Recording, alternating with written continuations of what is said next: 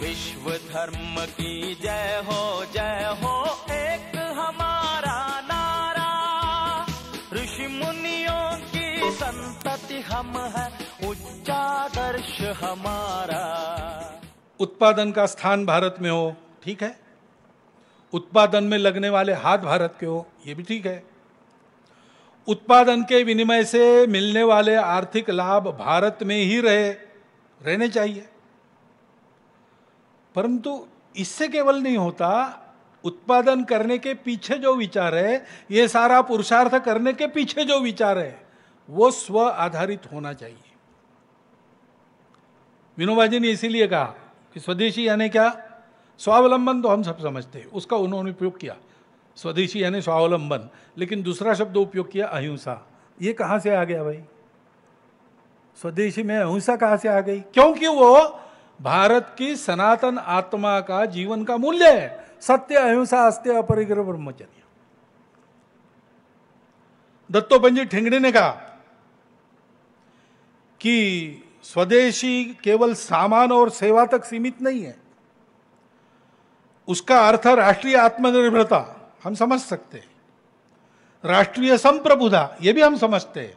लेकिन आगे उन्होंने बात कही बराबरी के आधार पर अंतरराष्ट्रीय सहयोग की स्थिति, अंतरराष्ट्रीय व्यापार में लेन देन को उन्होंने ना नहीं कहा है।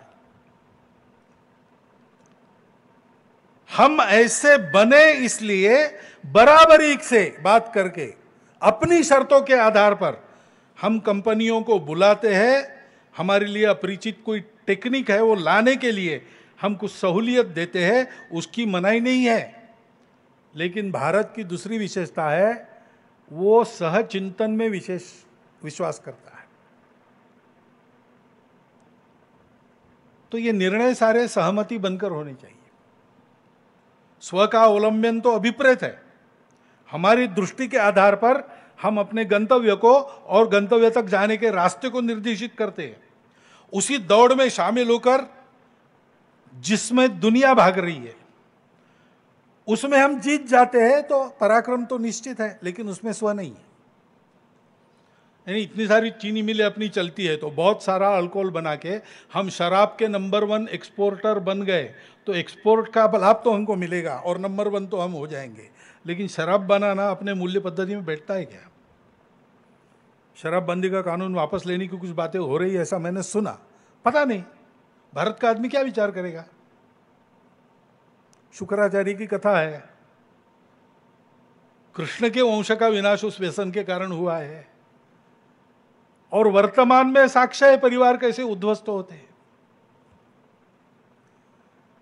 तो इसलिए आप कितना कमाते हो, इससे भी ज़्यादा महत्वपूर्ण स्व में बात है, कैसा कमाते हो? आपका विचार क्या है? आपकी दिशा क्या है? कृषि नीति। तो केवल अच्छी फ़ायदेमंद कृषि इतने से काम नहीं चलता। हमारी जो कृषि की कल्पना है, हम सबसे पुराने कृषि करने वाले देश हैं। तो कृषि हमारा धर्म है, हमारा किसान स्वतंत्र रहता है अपने बीज बनाने के लिए। वो कृषि करता है, अपनी कृषि करता है। उसके मामले में वो आत्मनिर्भर रहता, उसको किसी के पास जाना नहीं पड़ता, कर्जा नहीं लेना पड़ता। सोसाइटी के कर्जे में डूबकर आत्महत्या करने की बारी उसकी आती नहीं, क्योंकि अपना बीज वो घर में बना सकता है। खाद कीटकनाशक दवाइयाँ वगैरह सब उसके घर में वो बना सकता है, अपने को जितनी चाहिए, और आवश्यकता है तो दूसरों को दे भी सकता है। ऐसी नीति चाहिए। अपने माल का भंडारण वो कर सकता है। अपने माल का संस्करण वैल्यू एडिशन वगैरह वो कर सकता है। ऐसी व्यवस्था करने वाली नीति स्वदेशी होगी। हमारी इतनी पुरानी कृषि है तो उसमें काल सुसंगत अनुभव सिद्ध ज्ञान हमारे पास है। आठ हज़ार केवल चावल की प्रजातियाँ अपने पास थी। बहुत से चोर के ले गए। चुरा के, पश्चिम के लोग। अभी शायद साढ़े तीन, चार हज़ार बची है। लेकिन ये प्रजातियाँ, हमारे किसान ने कहा तैयार की हमारे पास प्रयोगशाला और शास्त्रज्ञ नहीं थे। हमारा किसान ही शास्त्रज्ञ था, उसका खेत ही प्रयोगशाला थी। इतना उसको प्रबुद्ध बनाया था हमने। उस ज्ञान के आधार पर हमारे पास जो पुराना है, जो आज उपयोगी है, जैविक खेती, ये हमारी परंपरा है। उसकी आज सारी दुनिया को आस है। हमारे किसान को फिर से हमने बुला दिया उसको स्वतंत्रता के बाद। योजना पूर्वक हमको फिर से सिखाना चाहिए। आधुनिक ज्ञान विज्ञान की अच्छी तकनीकी जो काल सुसंगत है हमारे देश काल परिस्थिति में, जो उपयोगी है विश्व के लिए भी और हमारे लिए भी, ऐसी तकनीकी भी उनको सिखानी चाहिए।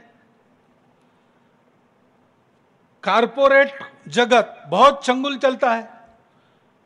उसके लिए वैज्ञानिक प्रयोग भी करवाता है और उसके निरीक्षण को अपने पक्ष में प्रस्तुत करता है। वास्तव में वैसा नहीं होता।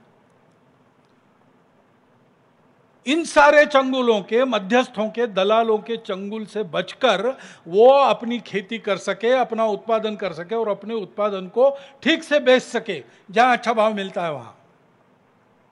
ऐसी जब नीति होती है तो वो स्वदेशी कृषि नीति है। आज, एकदम आज की परिस्थिति में लागू हो सकता है, नहीं हो सकता है। लेकिन कल लागू कर सके इस तरफ़ ले जाने वाली नीति, वो स्वदेशी कृषि नीति कहलाएगी। ऐसी नीति होनी चाहिए। जय हो जय हो, एक हमारा नारा। ऋषि मुनियों की संतति हम है, उच्चादर्श हमारा।